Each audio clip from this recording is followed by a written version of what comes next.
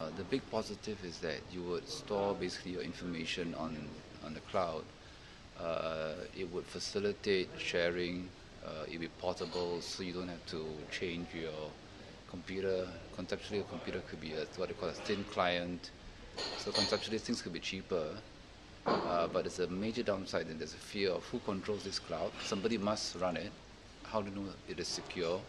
Can somebody hack into it? Can data be totally lost?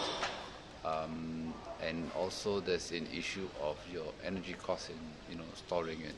Turns out that you know the IT industry is actually quite uh, intensive in the use of electricity, uh, so much so that Google talking about building a server farms next to dams and hydroelectric sources. I mean, it's quite amazing.